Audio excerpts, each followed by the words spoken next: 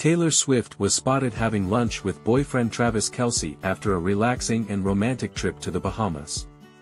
On Sunday, we spotted the 34-year-old couple stepping out for lunch at Cecconi's in Los Angeles, which is a classy Italian restaurant.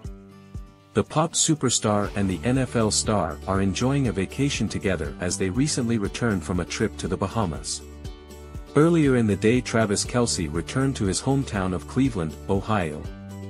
It seemed like he missed his family after spending a long time with his girlfriend in Los Angeles.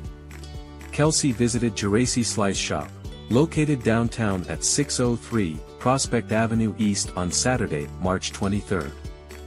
The pizza shop posted a photo to its Instagram of the Kansas City Chiefs creating posing with an old-fashioned phone in a pizza shop.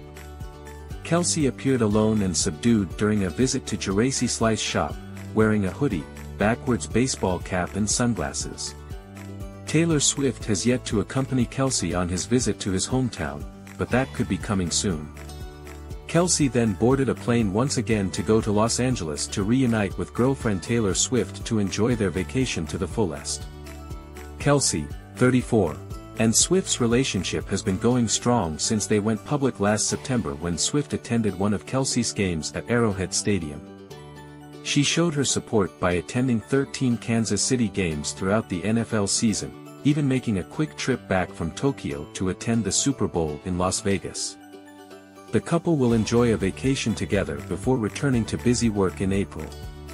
Kelce and Jason are set to host a live episode of New Heights in Cincinnati on April 11 at Nippert Stadium. Meanwhile, Swift's upcoming album, The Tortured Poets Department, is scheduled for release on April 19, followed by a four-month European tour starting May 9 in Paris. Kelce is expected to join Swift for at least part of the first leg of her European tour, which includes dates in Portugal, Spain, and England.